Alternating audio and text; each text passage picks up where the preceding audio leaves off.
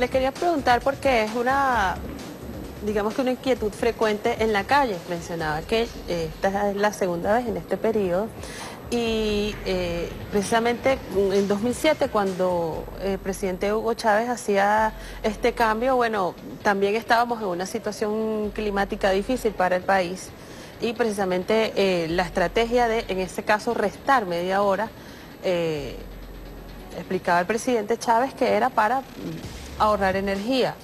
¿Cuál es la diferencia en este momento entonces? ¿Por qué volver a ese horario? ¿Cómo explicamos a la población esta medida?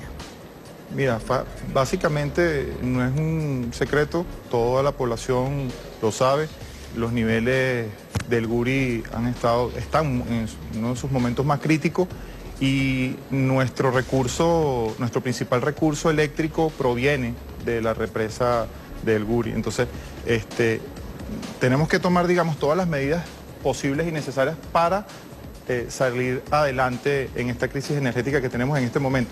¿Cómo beneficia? ¿Cómo explicárselo al pueblo? Eh, esto es una estrategia que se, se usa eh, de manera regular en países como Europa y en otros hemisferios del planeta. Aquí nosotros por estar cerca del trópico nuestros cambios son menos bruscos. Sin embargo, este, media hora, aunque parezca poco, eh, ayuda muchísimo en términos energéticos, del ahorro, lo que se refiere al ahorro. ¿Por qué en términos concretos? Porque esto ayuda muchísimo. ¿Nos pudieras decir un ejemplo cotidiano?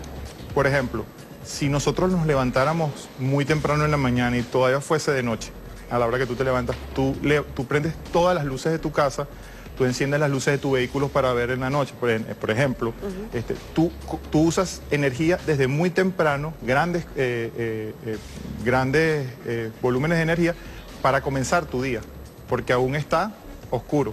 Puede pasar lo mismo en, al final de la tarde.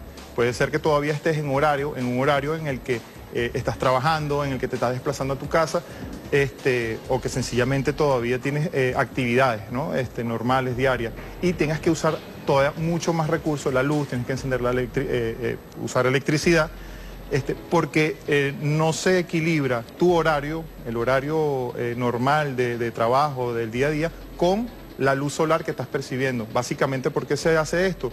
Porque lo que estamos haciendo es un llamado a apaguemos la luz, ¿sí? No usemos ese recurso, usa y aprovechemos la luz eh, solar, la luz solar.